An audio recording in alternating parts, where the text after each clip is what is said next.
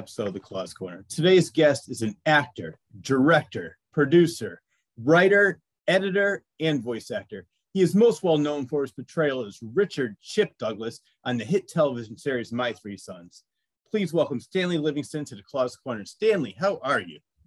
I'm doing great, Richard. How are you doing? I am doing great. Thank you very much, first of all, to Steve Joyner for uh, reaching out to you and saying, I'd love you to be on uh, my show. So thank you, Steve. And thank you very much for taking time out of your schedule to be on my show because I loved doing my research on you because I'd not realized how much you did, all the great people you worked with, what an interesting life you led and still continue to lead. So this is going to be a fun interview. Taking that apart, putting back together. So I just, over time, learned how to do everything. And I got some kind of weird satisfaction out of being the guy that knew how to do it or when I don't have time, I have somebody come out, you know, I can see whether they're ripping me off or if they know what they're doing.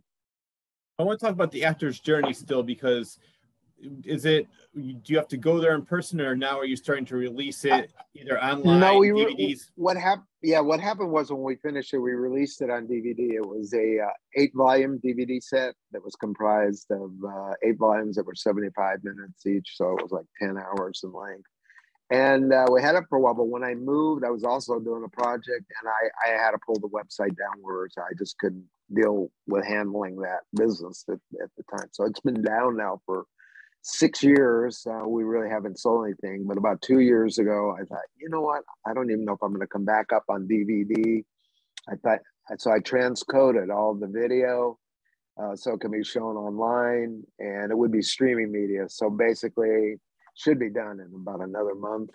Uh, so yeah, you'll when I put the Actors Journey website back up, you'll go there and you can see all the volumes, and then the volumes are comprised of segments. So you can either watch the whole thing and purchase that, or you can purchase a volume and see if you know you like it, uh, the one you may be most interested in. And we'll probably have the segments available. Most of the segments are about 10, 15 minutes long. So it'll be fairly inexpensive and you could just do it as your leisure. Uh, you know, actors aren't generally that well heeled. So for some people, it would be a good way to do it because you can, you know, spend five bucks at a pop and work your way through it. And uh, so it makes it much more economical. And I probably will still have the option to have it there on DVD. I'm, I'm just the kind of guy when you know, it's it's sort of like what happened with computers and software. Remember when you got your original software, you got a DVD and that's what you put in, but you had it in your hand. There's something about having it there when your computer goes down at three in the morning. You go, I need to reinstall this, you know, and without that, you're you're dead in the water till the next day can do a tech call. So, to me, when a lot of these companies like Adobe, you know, started making Photoshop, you know, I've got my my discs but uh, in the newer version, it's all online. You know, it's in the cloud, and you pay a monthly fee to have it. But I, I never really like that. I like owning the thing, an object. So, but you know, I think me with a book and a Kindle. I was gonna say it's similar to me with a book and a Kindle. I love having a hard copy of the book yeah, in my hand, reading yeah. it. Call me old school, but I just do not like the Kindle. I don't like the Nook. I like so that I know exactly even, what you're saying. I'm even worse than you. I want the book. I want to turn the pages, I like to smell it. You know, it's it just you know I'm from old school, so reading things online. I think it's harder on your eyes too to read something online. And I was yeah. a literature major, so you can't imagine how many books I had to read in four years, you know, just insane uh, to get through all those classes. But yeah, uh, so with this program, yeah, it'll be available online in, its various iterations, all volumes, segments, uh, and then I'm, I'm probably still going to have the option there to get the DVDs if somebody wants them. You know, we manufacture them and send them out, and you can have them. So yeah, that'll be the way to do it. So how it works is we'll have that actor's journey website back up and it'll have all the segments listed there, a little description, little icon. And when you click on it, it'll take you to the hosting website and that's where you pay for it and stream it from. So and people can go back and after they bought it, stream it. I guess for a year. I think that's kind of what it is. So, or maybe forever. I don't know.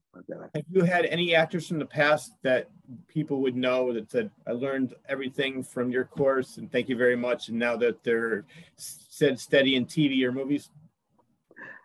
I haven't been in contact them because the website's been down. I probably had no way to contact me directly. Uh, but you know, there's some people that probably bought the DVDs eight years ago and uh, I did have one guy contact me. He said, "Yeah, I've been working pretty steady, you know." And then, yeah, credited to you, and I kind of followed, you know, what you said to do. I mean, it's still uh, it requires perseverance. It requires thick skin because you're still going to get rejected, and that's the one real topic we talk about is being rejected, and you know how you have to learn to put that into perspective into a certain little cubby hole that you can shut the door on and know it's there and that you've had those experiences. But you have to realize every actor has those experiences. And, you know, the whole idea of this program, and that's why I wanted people that have done this 20, 30 years, uh, they had stories to illustrate what I was trying to tell actors. You know, it's like, you know, you have a new actor who got rejected four or five times, they're ready to quit. And it's like, you just haven't done it long enough.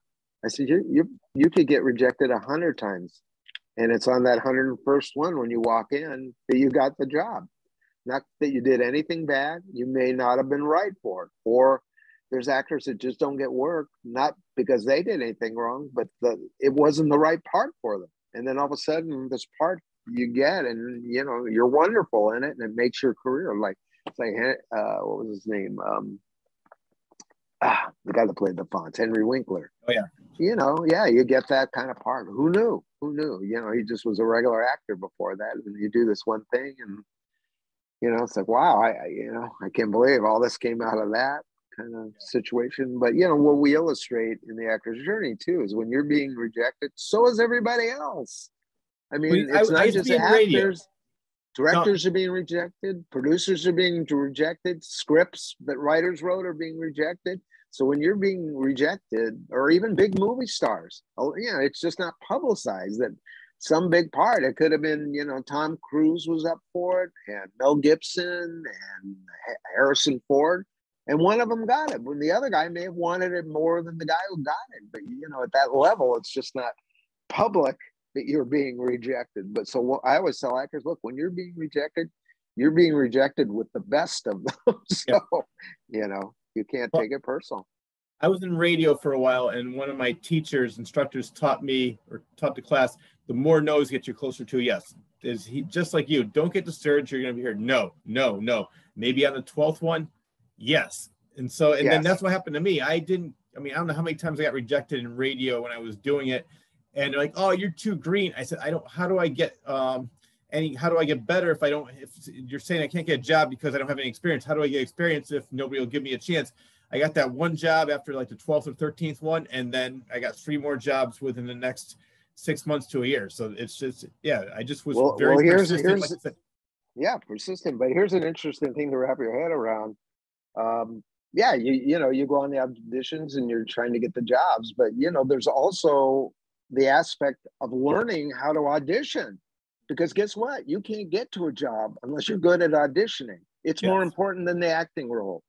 And you know what you need to do after you you know auditioned and didn't get the part that you can't just say okay well better luck next time. You got to really use your brain power and think about what you did. And is there a way afterwards that you think you could fine tune what you did and learn something from it? And that that's when you finally start getting better and better. And then the other thing is you know the auditions are very intimidating especially in the beginning but for a lot of actors they're you know i know actors that are pretty big movie stars and they have to go in an audition they get violently ill before because it's like i i'm no i've done this for like you know 20 years but i get literally physically sick when i have to go and audition i'm scared what example you know, for that is Henry never, Fonda. Yeah, Henry yeah. Fonda, they it, said, used to throw up before yeah. every yeah. audition, and even when he was a major star. Yeah, I, I, have a few friends, and mainly females, but there's guys too that would get physically sick before because they were so afraid.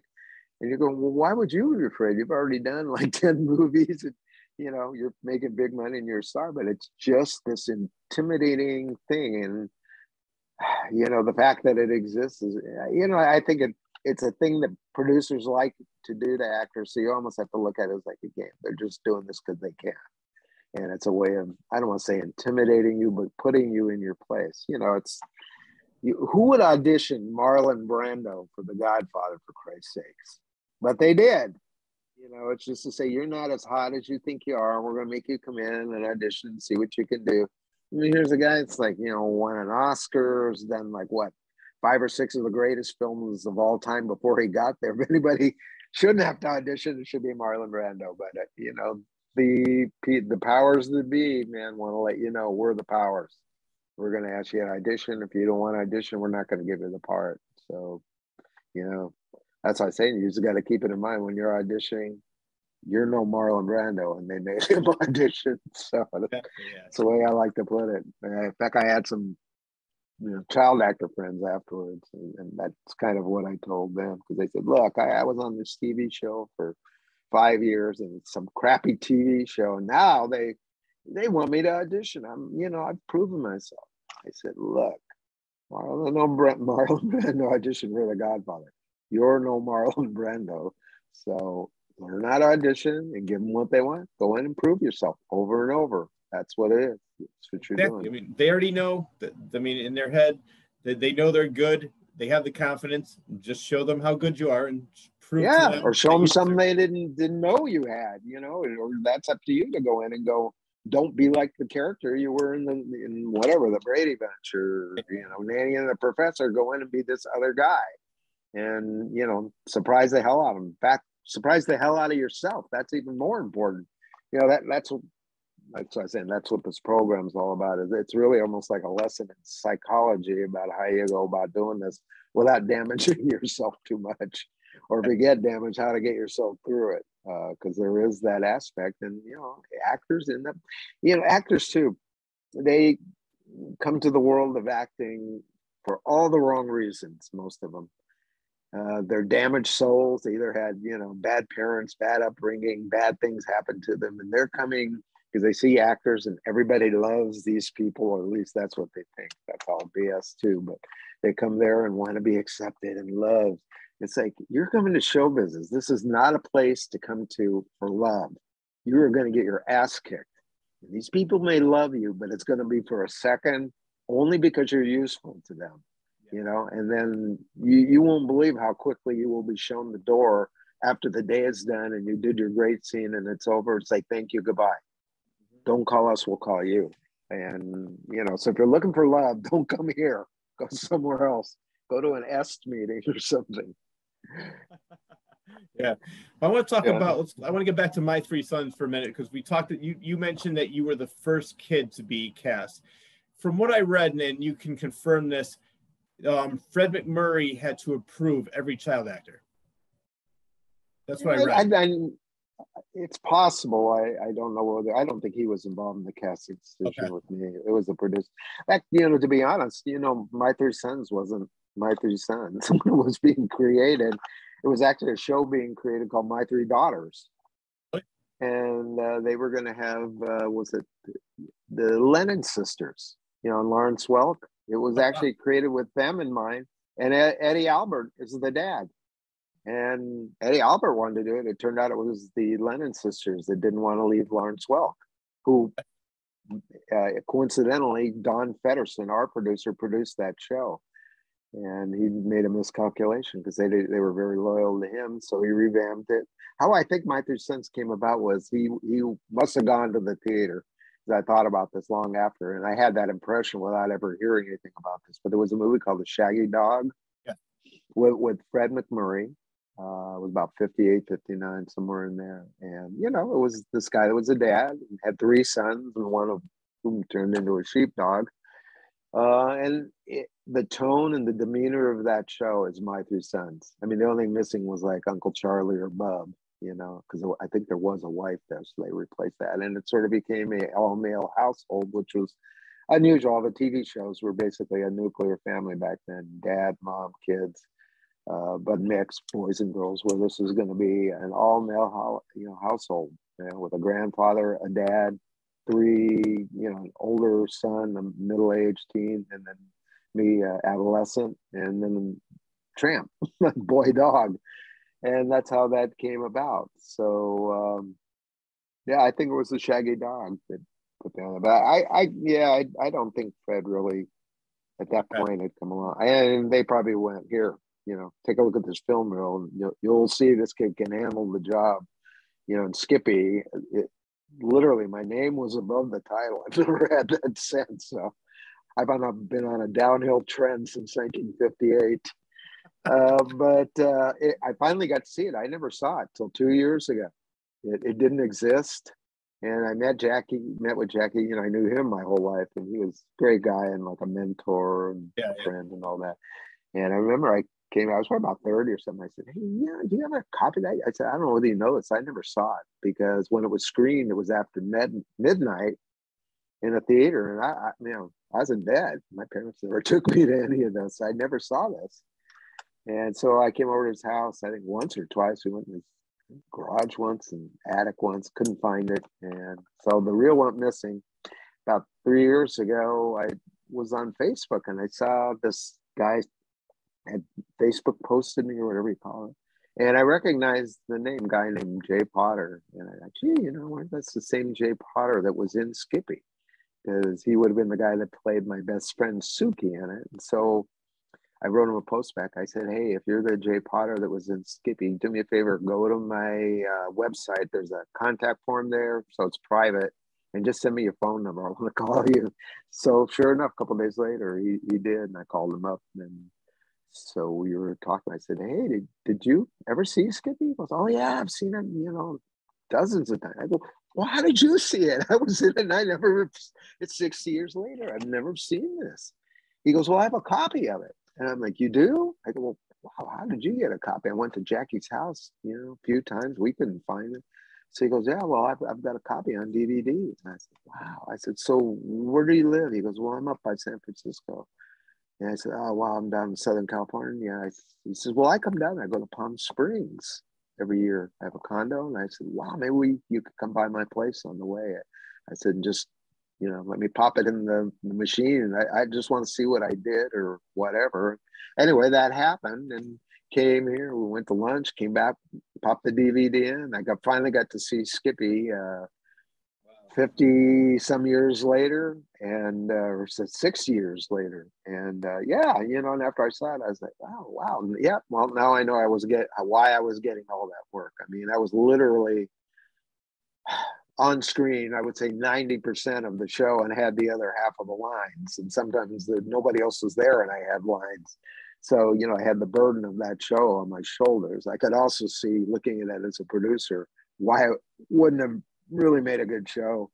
You know, kind of unlike Dennis the Menace. Dennis the Menace had a really great character foil, Mr. Wilson, and there wasn't that at Skippy. And I go, where would you go with this? And um, so, yeah, I mean that that was kind of weird. But I finally saw what I did and you know understood how I got parts. Because one of the other things that happened to me back then, this was right after Skippy and just before My Three Sons, um, somebody had been shown the reel. I think it was the director and producers. They were in 1960. They made a film version of Huckleberry Finn, and I was on the short list. And I think they wanted me to do it, even though I was a little bit young, younger than I would have thought they would have wanted. And it was my agent that advised me not to do the movie. Of course, that was pretty self-serving of her, not to do the movie because it's just a movie and it'll play and then be gone. the theaters that's where you're going to be in a series and that could go a year or two and I'll collect all the uh, commissions off of that. Yeah, who knew it was going to go 12 years? So she did make a good choice. But uh, yeah, that that particular piece of film, you know, really uh, opened opened all kinds of doors and offers and things like that. So was it always easy for you to memorize lines as a child? Because you just mentioned that you were 90% of the scenes, you had 90% of the lines. Was it yeah. easy for you? It was very easy. I don't know why. Well, maybe it's hereditary. My dad really had a great memory, and I think I got his memory. I'm not so sure I have it anymore because I hadn't done acting in a while, and I just did a short uh, about three, four months ago. Some guys I knew called me and said, "Hey, you know, we were thinking of you for this part." And I go, "Well, you guys know I don't really act." He goes, "Oh, well, you know, when we met you, you were acting. I, I did this film that I produced called uh, In the Picture was a Cinerama film. And I said, oh, yeah, yeah, I guess I forgot I did that. So he said, well, could we send you the script and you can look at it? And we think we can shoot it in one night. And I went, all right, yes. And so I looked at it and said, yeah, you know, come to think about it, it'd be fun. I haven't been in front of a camera. And I thought I could do something really weird because disheveled geezer and he's really kind of you know obnoxious and aggressive. So, and then I, in fact, I still have the beard. I grew the beard for that. Uh, anyways, it, it's kind of these, I guess they're licensed or somehow have the approval of the people that did Star Wars because it's called Antiquities of Star Wars Galactic something, uh, Galactic Thriller or something. Anyway, I was in, it's the last, they had volume one, two, three, four, five. So this is volume five called The Drifter. And yours truly was The Drifter. So uh, anyway, I, I, said yes, and then I hung up, and then I said to my wife, I go, God, I hope I haven't made a mistake because I got to learn like eight pages of dialogue. I don't know if I can memorize anything anymore. I got eight pages. like, oh my God. I, anyway, it kind of freaked me out. Then I thought, well, you know, you did this for your whole life. And it's not like you're shooting it tomorrow. I had about a month before they were going to do it. So I just brought myself up to speed and you know, by the night we shot it, I was good to go. And, you know, I, I don't think I ever blew a line. So that was good. And had a lot of fun doing it. In fact, I got laser blasted at the end with a laser beam and got killed. So that was fun. And uh, it's up on YouTube. If you want to watch it, it's called I do. I'm going to check that out today. Star Wars Intergalactic Story. Uh, yeah, oh. the guys that did it, they did four other ones. So, you know, plays off the Star Wars theme, but it's other characters or. I don't know how it relates to the real Star Wars, but it was just fun. Sounds like I'm definitely gonna check that out today. So um, with my three sons, you mentioned that once they everybody was cast, Eddie Albert didn't want to do it. They changed the no. premise of the show. Question for you is because at the time, Fred MacMurray, and this is a time when you were either a movie actor or a TV actor, and Fred MacMurray was at the top of his game at that time and he finally decided to say, "All right, I'll do the show, but under one condition." And it, actually, they made it the MacMurray method. Let's talk about that. Okay, yeah. Um, well, you know, Fred had done zillions of movies by then, and I mean, was still literally, as you said, at the top of his game. Was the highest paid actor in Hollywood, and had just come off doing The Apartment, Caine Mutiny, Shaggy Dog, Absent-Minded Professor. So it's not like he was lacking for work. But uh, in his private life, he and June Haver, uh, who were married, adopted twins. And, uh, you know, they were probably about seven, eight years old then. And he didn't want to go off and, you know, go shooting on location for three months, six months at a time and come back and your family's all grown up. So I think it was just serendipity that uh, he was looking for maybe another way to do acting where he could do it and then come home at night like a regular job. And Don Fedderson, the producer, after the Eddie Albert McGuire sisters thing fell apart, he probably saw Shaggy Dog and go, God, Fred MacMurray. Oh, I'm going to contact Fred MacMurray. And it just happened that he didn't want to go anywhere, wanted to be in town, was amenable to doing a uh, TV series. So they pitched him, and Fred, you know, had a few caveats. One was he didn't want to work into the night. So he said, I'm coming at eight, but I need to be, I need to leave at five o'clock or six o'clock. So they agreed to that. And then the other big thing was that he wanted to have summers off. So that meant, you know, we would shoot for three months with Fred, and then he would leave for the summer months, be gone three months, and then come back at the end for another couple months, and we'd shoot the rest of the scenes out or scenes that he was in that we hadn't shot. And that became known as the MacMurray method. Uh, a lot of times we'd shoot scenes that he'd walk out of but the scene would continue. But we would stop there. Somebody come in, take a Polaroid picture of how we were dressed, where we were standing, our hairstyles, or whatever was going on. And then they would save that. And then maybe two months, three months later, after Fred was gone, we'd come back to that scene, kind of get into position, walk through it, and then pick up the scene from where he, you know, shut the front door and walked out of it, finish the scene. Or sometimes we would shoot a scene that he would walk into and we'd shoot it up to that point and then, you know, all you had to do is just change angles slightly and, you know, you'd see Fred come in and we'd pick that up six months later and he'd walk in the door and we'd pick up the scene that we shot three months before that. So yeah, that that's kind of what was the Fred MacMurray method. It must have been tough though, because especially at your age and the other uh, child actors' no. ages, well, continuity meaning that like you had growth spurts, um, there must have been other things where like at that age you're growing a little bit quicker you know yeah. than as an adult so just like I mean, an example would be i heard about dodie the one who played dorothy the, in the later seasons in mm-hmm. one scene she didn't have teeth and she did it's just that so how did they get around that They had fake teeth made for her.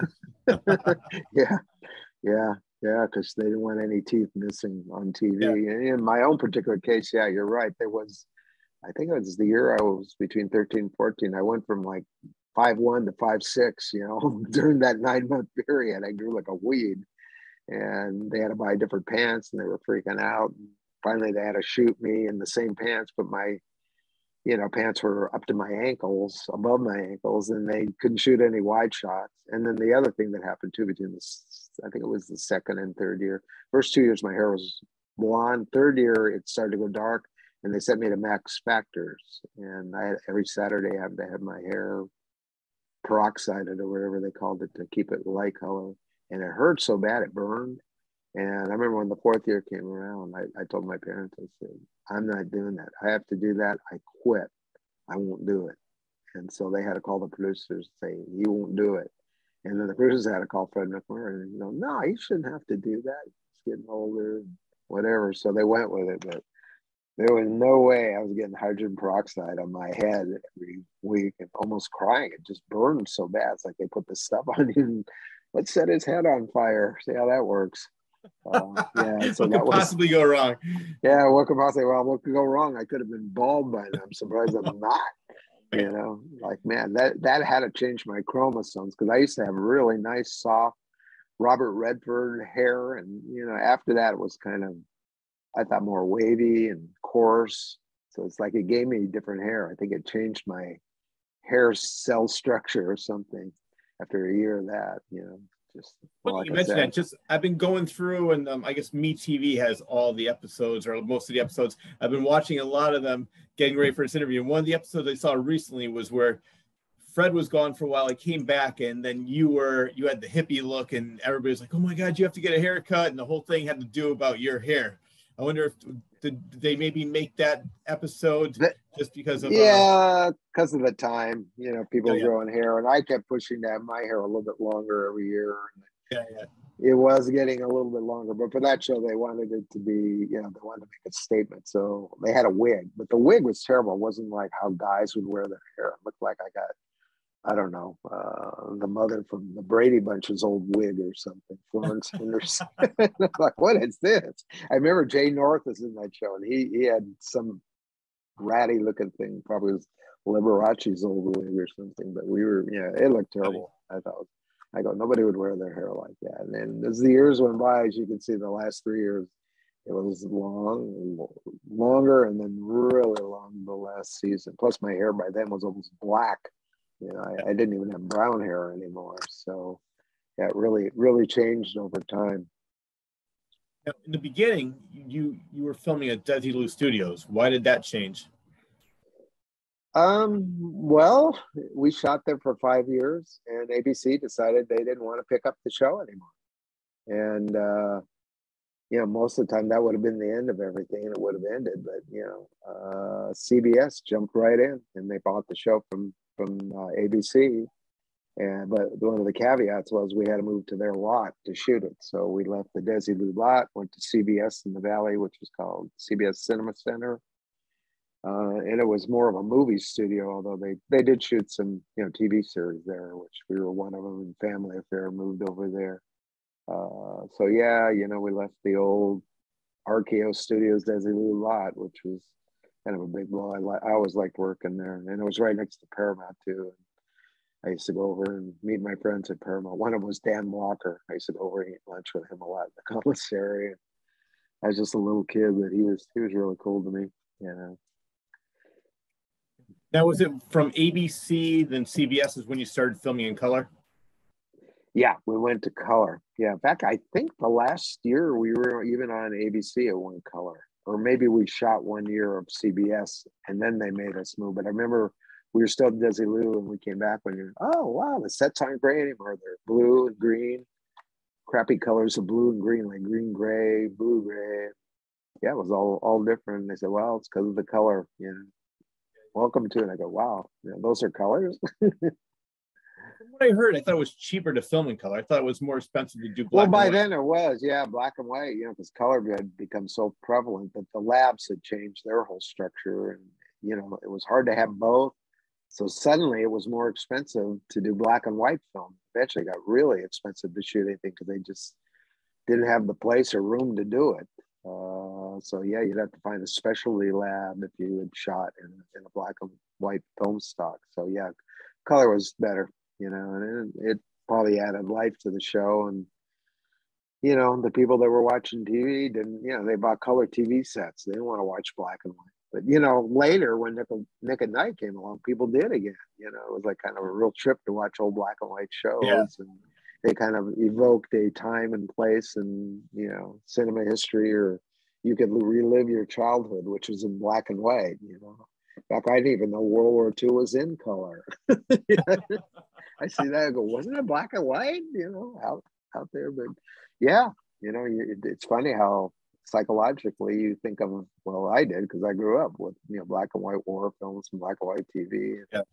you know yeah. when i when they finally had i think it was on the history channel you know world war ii in color you go oh wow you know it's a nice sunny day and here i thought it was you know dark and gray and bleak for five the five years of world war ii is there that's a nice sunny day to get killed on love it now you mentioned a little bit in the first couple seasons, you had Bub, then it went to Uncle Charlie. So I want to know your experiences working with the great William Frawley. You must have some so many great stories.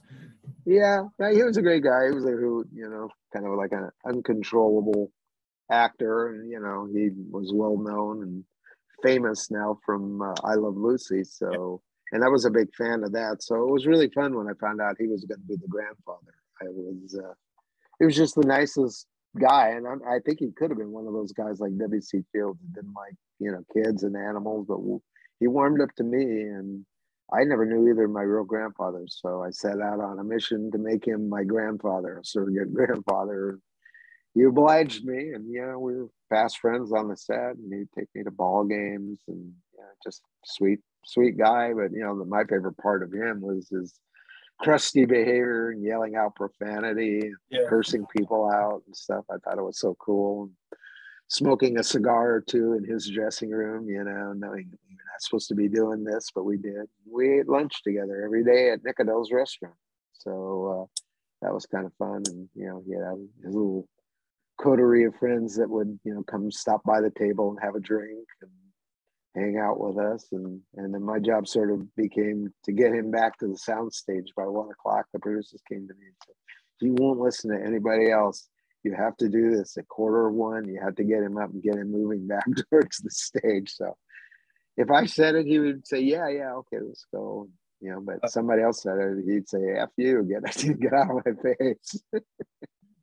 I know I hear all the stories. I mean, I've read several books on the Lucy, uh, Lucy years. Yeah, I know that they had a lot of trouble with him doing that too. So, what eventually? Why did he leave the show? Was it due to health issues? You know, yeah, it was health issues. He was having heart problems, and uh, basically, again, it came down to insurance, and because we were shooting with a very extreme version of shooting out of order, meaning shooting in lots of different scripts. If he had died three months into it, probably 10 scripts, we'd have to start all over again. Wouldn't be like, you know, if you shot all the way through it, even if it wasn't in order, at least you'd finish a, a particular show. But they were worried uh, for insurance purposes. Uh, the insurance company said, we can't do that. You know, he's in too many episodes, you might have to shoot a whole year over again if he dies near the end. So, yeah, they decided to, you know, cut him loose and they did. And about three months later, you know, had a heart attack and dropped dead. I heard on the Hollywood Boulevard near Musso Frank. I saw an interview with your brother on um, was was on one of those TV shows. I think the Archives, and uh, he was talking about the difference between William Demarest and William Frawley. He said he loved William Demarest. He said it was like like basically what you just said. He said, um, no, William Frawley. Then William Demarest was more like a grouchy or like if if William if he was like a sober William Frawley, I think that's what he was saying. It just uh there was a little bit of yeah, yeah.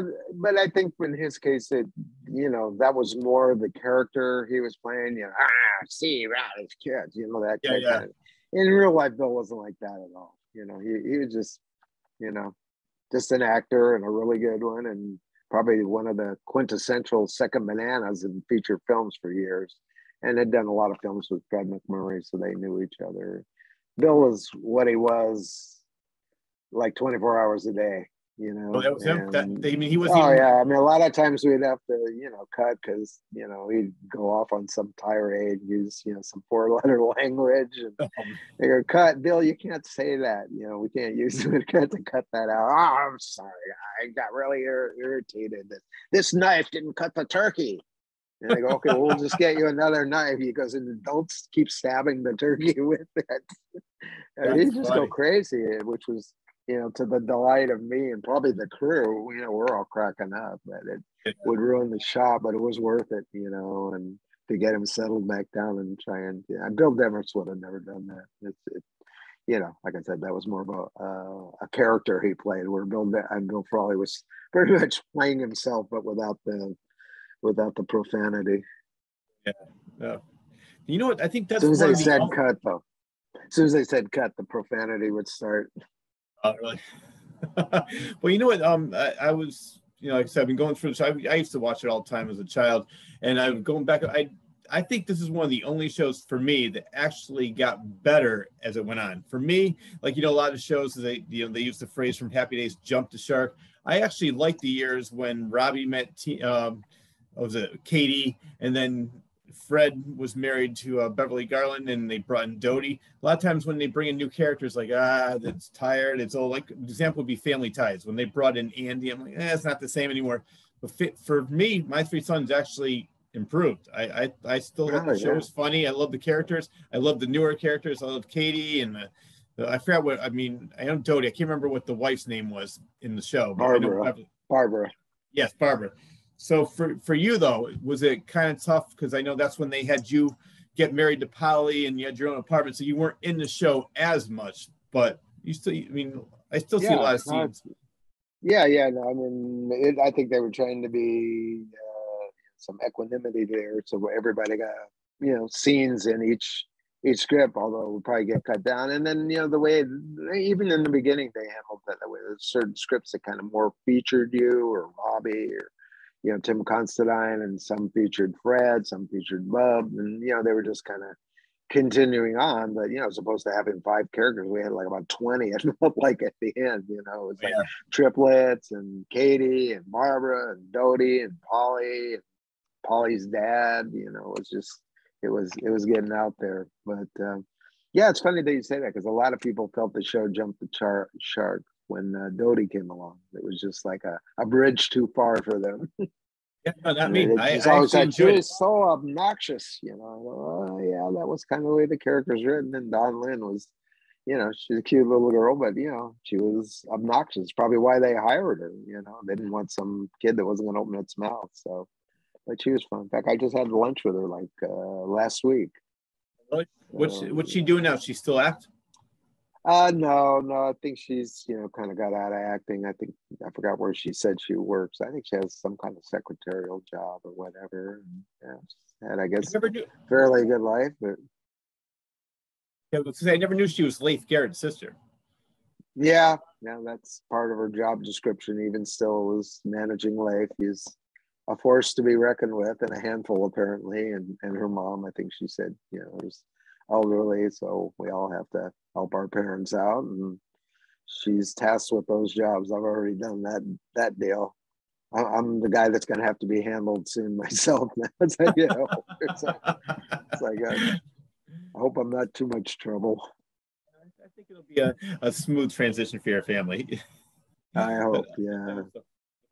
Well, I was when I was doing my research, I didn't even realize I saw the name all the time and it just didn't even click one of the longest show's longest and most consistent director was Fred D. D. Dorkova, who then later on went to do the Tonight Show with uh, Johnny Carson. So he was, yeah, uh, they said 108 episodes he uh, mm-hmm. directed. Yeah, he was there the longest period of time. Uh, Gene Reynolds was also another force to be reckoned with, who uh, was on our show and had directed other shows prior to that. And after that, uh, you know, was one of the producers of MASH, and Grant, and directed a lot of the episodes and was a lifelong mentor people. for me. Yeah, yeah, very talented. And Fred, you know, we all knew was a legend uh, in the industry. You know, even when he was doing My Three Sons, that everybody knew who Fred DeCordova was, and you know, he'd have the most awesome friends come down to the set who were his buddies, you know, like the president of the United States, Governor Reagan, Willie wow. Shoemaker, you know, the, the creme de la creme of, of Hollywood high society. Uh, and, you know, he enjoyed that role. And, you know, Fred was just this unique character who he was kind of somebody that I really idolized. He treated everybody the same. Didn't matter whether you're the guy doing the coffee and donuts or Fred MacMurray. He talked to everybody the same way.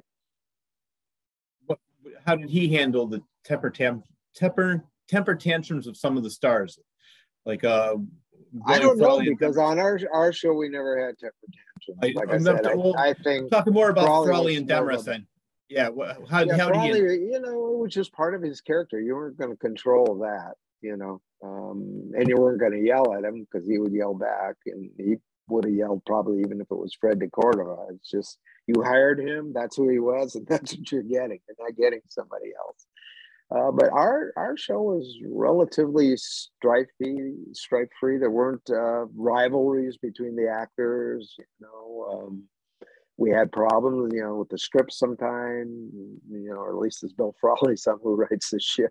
Is what his most famous line um, and they'd have to get the writers down and fix it. Uh, you know, Fred MacMurray would have the same problem, but he wouldn't say who writes the shit. They would just be, quietly go up to the director or the producer, and they would bring the writer down and work through the problem. And there was no histrionics. I never saw Fred MacMurray ever get mad or have a meltdown on the set. I can't say I haven't seen that, you know, in other things that I worked on where some star goes crazy or you know, just goes shuts the whole production down while they're having their meltdown or a director kicking and throwing things. And we never had that. You know, it was really like a, a pretty happy family and everybody got along. And a lot of us socialized even off the, the set. We actually liked each other. Good. Yeah, no, you can definitely tell. That's I mean, rare. Just, That's rare. Yeah. So you know, I since you lasted even, twelve seasons too. I mean, it was the second. This was the second longest running live action sitcom in TV history. So I mean, that's yeah. A, did you? I know you said no in the beginning, but you, you once your brother was on the show, was there any competition of who would get more screen time, who would get more dialogue? You two seems like you just got along. We never, we never had that because you know even prior to that, we weren't really rivals for parts, and even afterwards, we looked markedly different from each other. So we weren't even up for the same kind of things. And I was happy to have Barry on My Big Sons because I had nobody there but adults yeah, occasionally, yeah. you know, they'd have a kid that would be there for the day. So, you know, that'd be more fun for me to have somebody my own age or somebody my own age in the classroom. And uh, yeah, when Barry finally got there, you know, we shared the classroom, we shared a dressing room, and you know, we shared a ride to work, we shared a bedroom at home. So there was no good, you know, real. I mean, you know, some brotherly stuff maybe occasionally, you know, pop it yeah. in the nose or he'd slug me or whatever. And we, we work our way through it. And yeah, but nothing ever serious. Just uh, regular, regular brother stuff.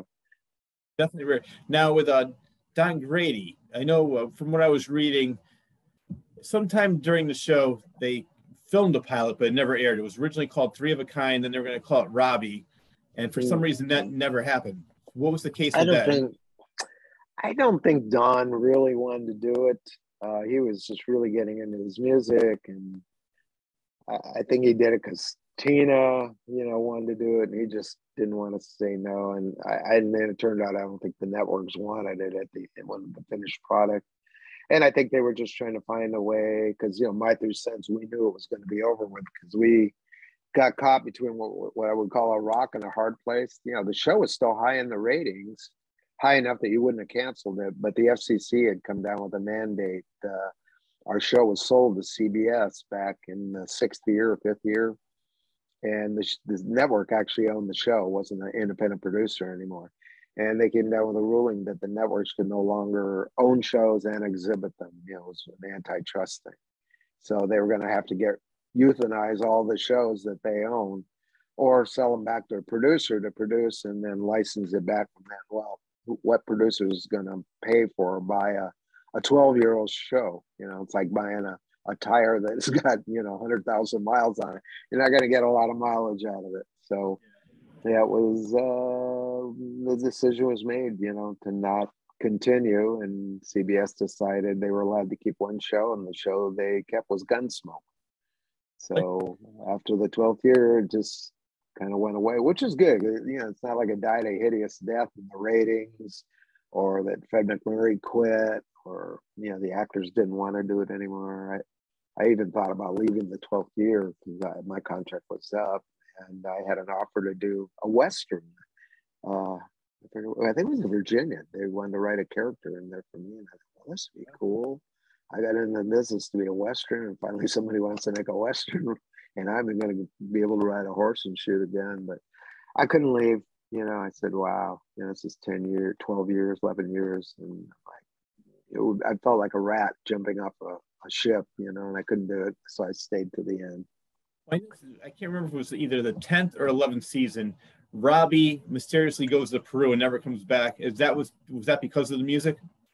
Well, yeah, because Don and myself, we both had contracts that ended the eleventh year, so it's sort of like I came back and he didn't. You know, he didn't want to do it anymore, and I, I was on the fence about that, and I, I'd had this offer, and I thought, well, if I do this other thing, I'll be seen another way, which is, you know, handles a lot of problems for actors. Is, you know, all of a sudden I could wear my hair long, probably have a little, you know, some stubby, stubby beard and be a cowboy and be something that wasn't Chip. Yeah. And from that standpoint, but then you know to to leave Fred MacMurray and the rest of the cast who were gainfully employed, it just uh, I I went with the show. I just figured when it ends, I'll I'll figure that all out. Did they ever approach you like they did with uh, Don Grady and say, "We'd love to do a spinoff with you and Polly because you had the whole subplot with the father who was mad because you eloped with her." I mean, was, they they could have easily made it another TV series I mean, yeah. Had... I, you know, I don't, I don't know if that was ever a thought for me. I, I know it was for Don, and you know, Don was probably more of a, you know, a powerhouse on the show than I was. I mean, his character, I mean, my character was well liked. I think that whole Tina Don thing and the triplets was infatuating to the audience. So, you know, just me looking at it as a producer, I would have, I would have chosen that over Chip and Polly. Yeah, uh, you know, the one who should have gone on is Dodie. she could have kicked some ass.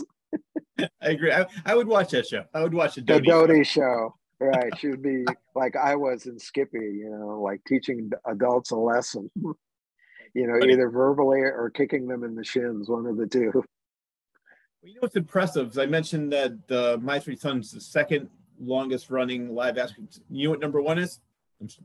Ozzie and Harriet. Oh, Ozzie and Harriet. Yeah. Yep. So you were number years. one and number two. Right. Yeah. And I was glad I was in, you know, whatever, 10, 15 of their 435 episodes. If you can believe that. That is very impressive. In fact, I, I just uh, at the Hammer Museum went and gave a, a little talk and was in a panel uh, for Ozzie and Harriet. They just had their 60th, 60th uh, anniversary of the show. So Barry and I went, and then uh, they had Tracy Nelson and Sam Nelson were the other part of the panel. And they showed you know some episodes and some really cool stuff with Rick playing various songs he had on the show, and a good Q and A at the end with the audience who were you know truly interested in Ozzie and Harriet. I, I thought that was one of the best shows ever. I, I think people should revisit that. That is just, and when you think about what Ozzie did, you know, we had Fred MacMurray, but you know, he was an actor, showed up, knew his lines, and was a big movie star. But Ozzie wrote those episodes, acted in those episodes, directed those episodes, produced those episodes, and edited those episodes, and got the idea that you know to take music and kind of make the first music videos that were like embedded in a show. You know, he took Rick and said, "Well, you know, come up with a song." Think they did I'm Walking, and they put it in the show, and it was really well received. People wanted to see uh, see Rick do more, and they did. So they kind of concocted the show where at the end of the show they would leave a whatever two three minutes for him to do a song, and it would play. And then the next week you'd said sell 10 million 45 records, you know. So from a business standpoint, and I know a lot of people don't know this, Ozzie was an attorney. So he did all the business, you know, matters too. No, I did not know that. So, yeah, I, yeah, I, didn't realize how much control he had on the show too. I just thought it was, you know, it was his. Yeah. Wow, Talk about his baby. That that's why you know the, from knowing how to do all this from the technical side and the creative side. I, I just have the ultimate respect for that guy, and it's just a, it's a, it's a great show. It's just you know, soft humor, uh, gentle humor, but it just and it evokes kind of a time and a place. You know, a little bit of out of kilter what was really going on, but just so human and you know, just had you know the human touch to it. So it, I think it'll be eternally funny. You know, if you've got human beings in there and doing things that you can relate to because you've done them, you've conquered. You know what people want to see. I think on the screen. Yeah, I I watch the show every go on YouTube or somewhere and find a clip or an episode, and I still laugh at. It. I I love the show. I did oh, notice yeah. in at least one episode there might be more that because I, I didn't watch the entire series in years, but there was one episode where Don played, and then um, Fred went and he found an, an, artist that he liked growing up, and he had Don. Well, show her how it's you know how kids play music today. So was that more to appease him? Like, let me put some music in there, and this is no, I don't know if that, that was his real. Shows came from what we were doing in real life, and you know, Don was know he'd been doing music since you know, he was a kid, even in the Mouseketeers and all that. So they didn't incorporated that, you know, with him writing music and writing songs. I know we had J.P. Morgan, he wrote the song she sang. And then in My Three Sons, he had a group called the Griefs, who was a real group in real life too, but they had some songs. And then Don was also moonlighting. He was in a group called the Yellow Balloon, who had a song that was a kind of big hit called the Yellow Balloon. But the the stories. I think the you know the writers would come down the set and we would always talk and they go, "Hey, what are you doing?" Uh, I was into surfing or skateboarding or bikes or collecting stamps or collecting coins. And there'd always be an episode, you know, shortly thereafter where I remember there was one with stamps. I was collecting stamps for a while, and there was another one where I was collecting coins and I accused Ernie of spending my $10 1909 SVDB penny, you know, to buy bubble gum. And, and then it turns out it just fell behind the bed or something. So, yeah, you know, they would mirror what we were doing. Uh, you know, we were into like camping. So they wrote a Boy Scout episode when we went camping thing was called One of Our Moose is Missing. I think Ernie and I, or Ernie wanders off and is lost in the woods. We have to go find him. Then I remember I was really into UFOs about 1966, 67. Suddenly we had a UFO episode and it took place like near an army base and somebody saw something land and you know turned out it wasn't a ufo obviously back who was in that was uh, johnny crawford's brother uh, bobby crawford was in that episode uh, but yeah, what the the other thing that My Three Sons was pretty well known for, and I'm pretty proud of that, was if if you go online, in fact, I'm going to have my my own website, rebuilding that StanleyLivingston.com website, and should have that up by the hopefully the end of the week. Yeah, but I you know hadn't refreshed it since I think 2010, so it's like 10 years old. But going through it for the new material and new photos, I was seeing a lot of stuff, and I stumbled across the guest list of actors on the show and it was like amazing to me how many big stars were on our show. Uh, yeah. You know, actors that were at one time, you know, the top of the movie profession, and uh, you know, were now in their senior years but wanted to work, and you know, they wanted to be on My Three Sons. It's prestigious because you had Fred MacMurray on the show, so you know, it wasn't like being on the Pinky Lee show or something and just looking yeah. for a paycheck. And then there were people who were just starting their careers. It might have been their first or second job, but you know, there's people like uh, Beau Bridges, Martin Sheen, um, Sally Kellerman, Sal Mineo was in it, um, although he'd already had a career. But a lot of people that were, you know, new to the industry. One, one of my favorites is Steve. His character was an aeronautical engineer the whole time and there it was i think in the early 60s it was a flat he's in his office and he has a flashback to when he was young and was you know an aeronaut young aeronautical engineer and was talking to his boss. Well the actor that they hired to play fred the young fred it was tom skerritt. No that one I have not seen. Yeah, crazy. That's funny.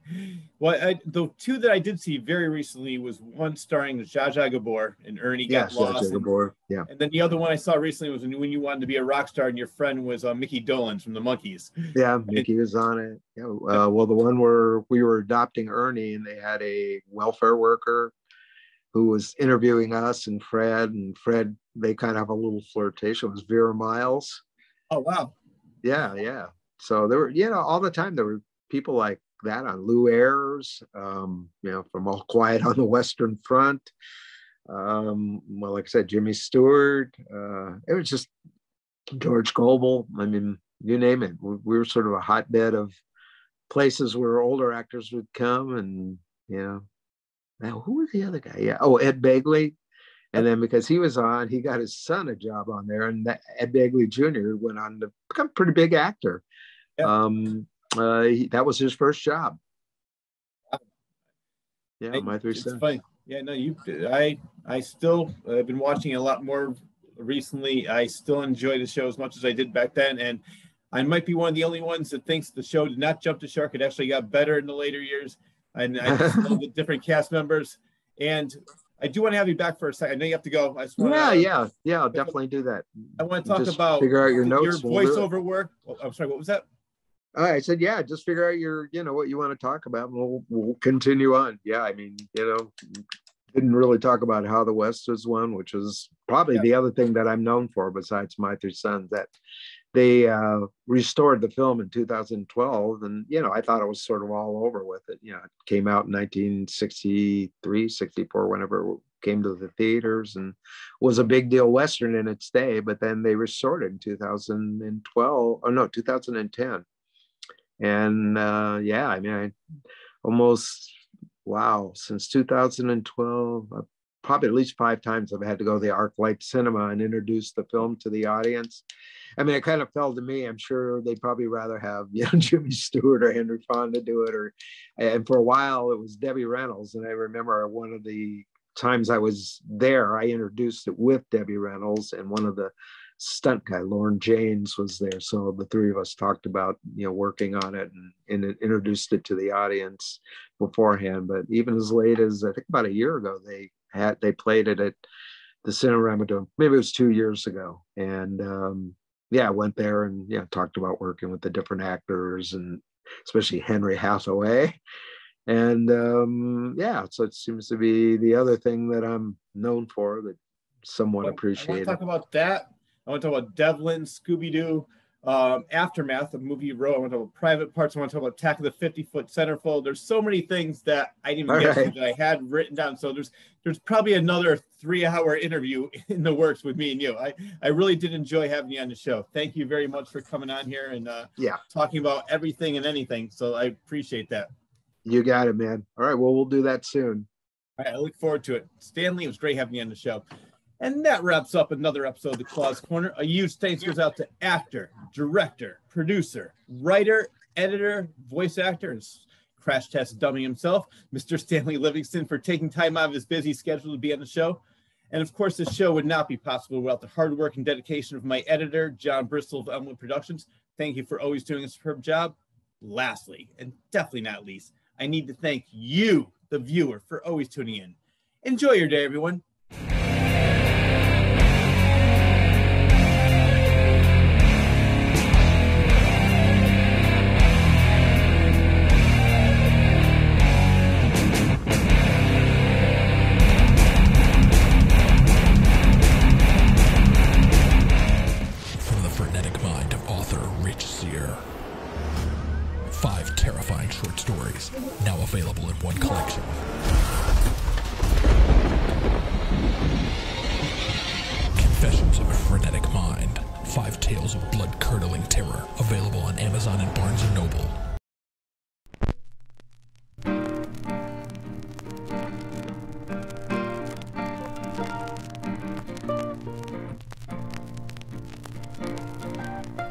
Sudden I hear, brim, brim.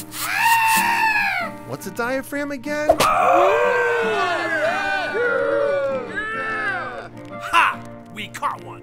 They're supposed to be weird. Oh, yeah, no. If you say so. I've always wanted to be in a movie.